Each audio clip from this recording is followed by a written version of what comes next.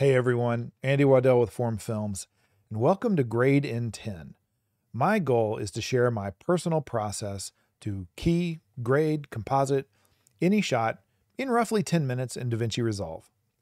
The point of that is to put some professional guardrails around my time so that at the end of the day, I come out with a grade for a project or a section of a project that's largely representative of where I want to take it and also suitable to show the client to get an idea of what's coming. So, Let's walk through a Red Gemini 5K shot captured in our Form Films green screen studio.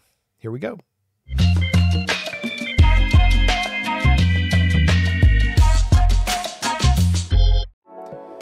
To begin, we are working in DaVinci YRGB color space. This is the super wide, awesome color space. The new science makes all the things awesome and pretty and pops them out Rec 709 at the end. So Let's start making some nodes, and we are going to take Beth, our lovely host, and composite her into this carpet store. As a former musician, I am a huge fan of curves. The reason being, it's visual EQ. It's the way my brain thinks. So you will see me use a combination of wheels and curves in every grade project. Um, so yeah, so first off, I'm gonna jump up the exposure, get it to where it feels good looking at the parade and looking at my Flanders. So liking that. Next up, dropping in the 3D keyer. A message to Fusion. I know that you're there. I know you key. I know you do visual effects so good, but I don't know you. I don't know how to talk to you or work with you. So I'm going to key this shot in the color tab and it's still going to be cool. Sorry. All right, guys, here's what I do. I'm going to flip this 3D keyer to use the lab color space. This is a fun color science that I'm just now beginning to explore. From my understanding is that it sees color a little more like the human eye sees it, or it manipulates color in that way. And it's great, I think, for keying, and it also is great for some grading and effects on the back end. So I'm to start by just doing a broad sweeping stroke. And then I'm going to zoom in. I'm going to go back here and add a stroke to grab this little bit of green right around her hair. Might be a touch too much, but we'll see. Okay, this is not going to be the final end-all be-all grade, uh, excuse me, key. Well, or grade. So I'm gonna I'm gonna basically get a working key here, and we're gonna walk away at the end of this with something that's very close to finished. Let's see how this plays. Dang, that's pretty nice. That's actually really nice. Okay. I'm going to despill it. And voila, that's looking pretty zesty. All right. Next up, I'm going to add a couple of nodes. Go ahead and do primary. I can't type. Okay, primary. I'm going to add an adjustment I'm going to add way down here on the end, I'm going to go ahead and set up my sharpening. And I'm going to go ahead and do that. Just grabbing this, dropping the sharpening radius down to about 0.46. And in front of that, I'm going to drop my denoising. Uh, here's my deal with denoising. If I'm grading a fully practically shot shot, I'm going to denoise at the beginning and I'm going to dial it in very carefully to handle shadows, blacks, grays, whites, all the good stuff, all the funny colors in the middle. If I'm dealing with green screen, I'm going to put it at the end. The reason being is if you've got somebody on camera waving, you get all those nice blurry mess in their fingers and green and all that, and it's hard enough to deal with.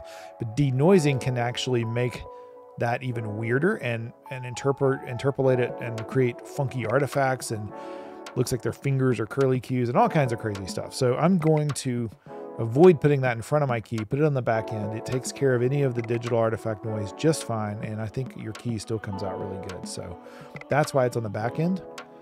And I'm going to dial it in pretty minimal. Just keep it to the small bits, dial it up to about 15%. And uh, I'm going to put just a little bit of spatial, super low. It can get really messy really quickly. I just want to do a little bit to take care of anything that um, the preliminary one, the uh, sorry, temporal one does not do. All right, let's jump back to primaries. All right, primaries, here we go. All right, I'm gonna use the offset and all I'm gonna do is pull back a little bit of the inherent ready orangeness of uh, the red sensor. And it's gonna be just a touch. I'm gonna disable it, enable it. You can already see her skin tone and her hair kind of separating her skin and hair there are very orange.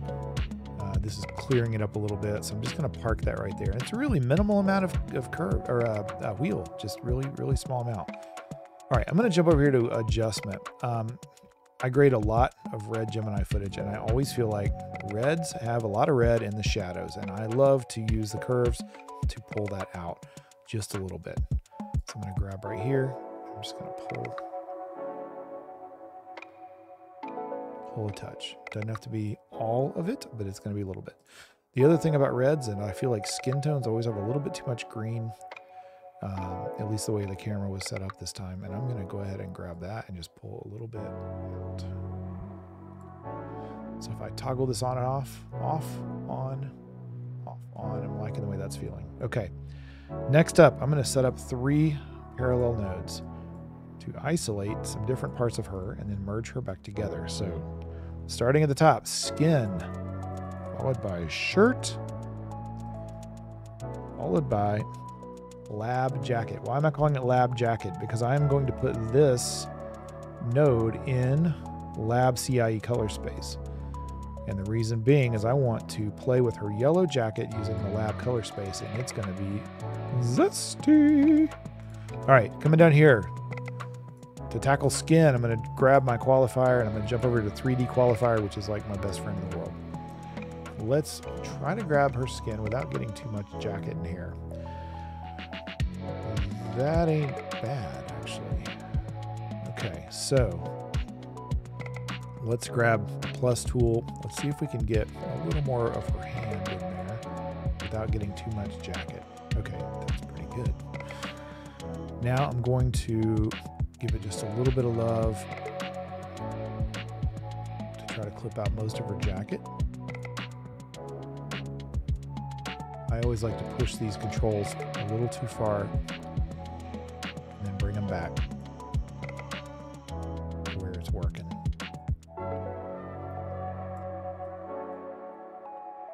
All right, let's let's park it right about there for now. So I'm going to flip my scopes to vector scope and I want to watch and see is her skin tone aligning with the skin tone line right there. It's looking pretty good, but what I want to do is put color compressor on here.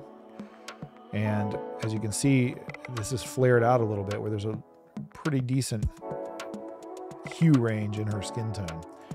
And I'm going to grab with the eyedropper part of her skin that I feel like looks representative of where I want to take her in the grade. And then I'm just going to use the compression to tighten up her skin tone. And then I'm going to do the same to tighten up the saturation of her skin tone. And this is a fantastic tool if someone does not have as lovely skin as Beth and instead has extremely blotchy skin or pale and lots of different color tones. This is a great tool to align it and unify it. Um, so soloed up, I'm going to use my wheels, my offset wheel. I'm just going to pull it a little tighter to the line and I'm going to push it a little further in saturation. And then I'm going to toggle it off and back on. Oh, look at how warm and friendly she is. Off, on, off, on. Love it. Now, there is a little bit of hair in there. I get it. That's fine. I could track her face, isolate that. I'm not going to do that. This is a 10 minute grade. And besides, I don't mind if her hair, which is already generally that tone, has just a little bit of color in it. It's not going to bother me. All right, let's do the shirt next. Okay, 3D qualifier. I'm going to grab the shirt all the way down to the jeans. Oh, that was good. That worked out really well. Okay, I'm going to black clip it. See if I can crunch out her hair. There we go. A lot of black clip. I might go back and tweak this later, but for now, this works. In case you're wondering, I have already keyed and graded this shot because I had to for a project. Okay, um, I'm gonna come over here, and first of all, her shirt's nice, but it's gray. I want it to be a little brighter and a little wider. So what I'm gonna do, now that it's isolated, is I'm just gonna pop some exposure up a little bit in the high mids or low highs.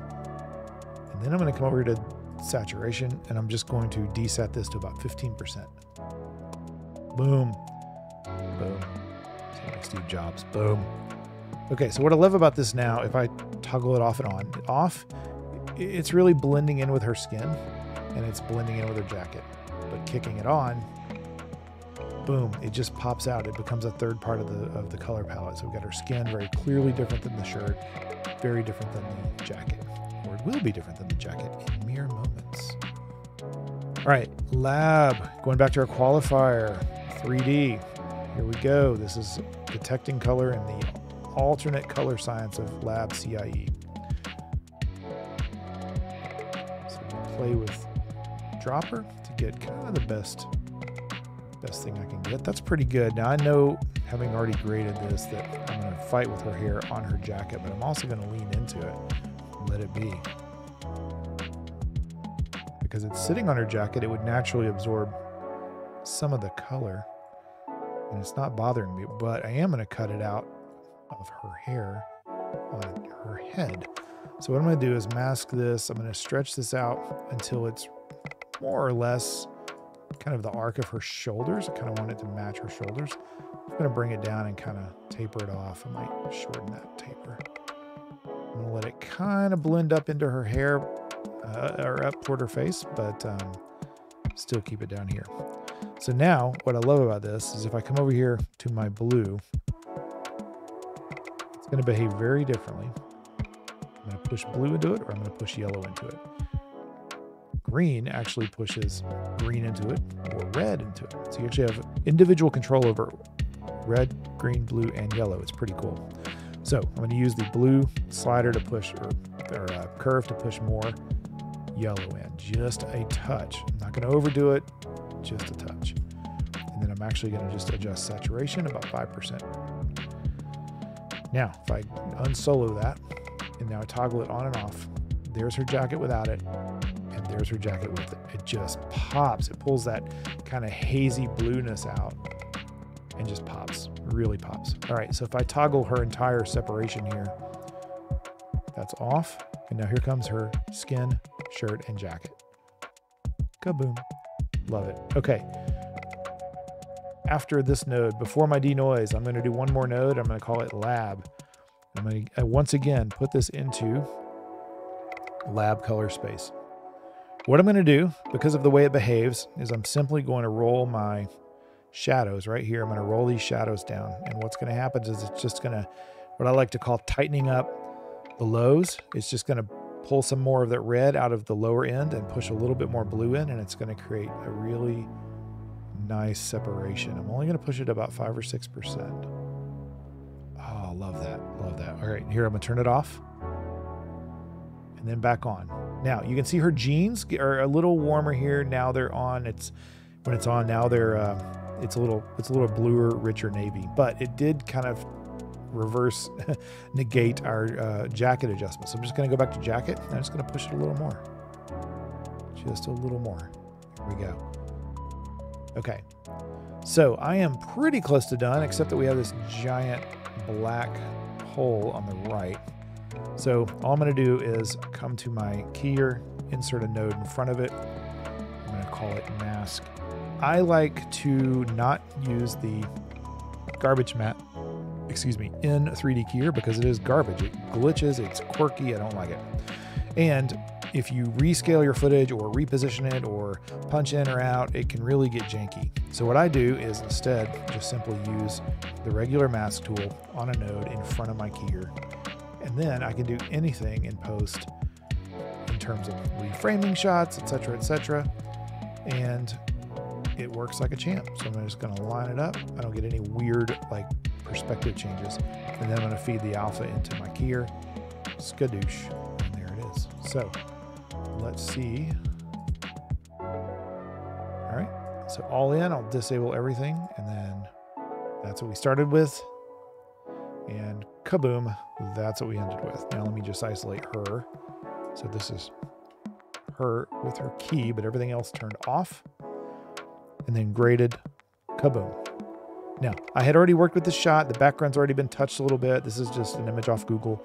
Um, I would spend a little more time now balancing her to the background. That's not really what I wanted to do here. I just wanted to get a 10 minute grade and key that's client presentable, that communicates the end goal of the project. But at the same time, um, you know, the next day I'm going to come back with fresh eyes and look at it again. So I think we've done it. All right, that's it. Um, love for you guys to click the follows, the subscribes, the bells, the buttons, the knobs, the levers, turn them all, flip them all, tweak them all. Stay in touch.